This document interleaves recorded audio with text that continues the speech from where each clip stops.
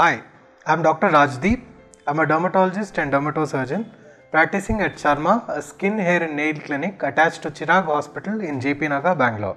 There are a few conditions which can cause bumps on the elbow. The most common is in children. We call this as lichen nitidus. Uh, it's small whitish bumps which can occur most commonly on the elbows. It can also occur on the genital area. It can occur on the stomach. It can occur on the back and the forearms and the legs. Uh, this is a harmless condition which usually subsides in about 6 months.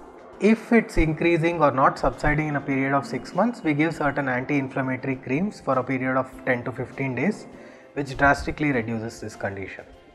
In adults, it, there could be conditions like psoriasis which start off as small bumps, later they uh, lead to large patches on the elbows. Another condition which can be seen either in children or adults is vitamin A deficiency known as phrynoderma. Phrynoderma can uh, also lead to uh, bumps on the elbow, but these are not very tiny bumps, they are much large coarse bumps.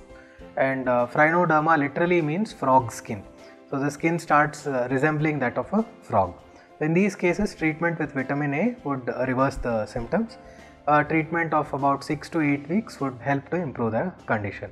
However, these are not commonly seen, may be seen in very remote areas where children or adults don't have access to proper food and not seen commonly in a clinical practice in larger cities.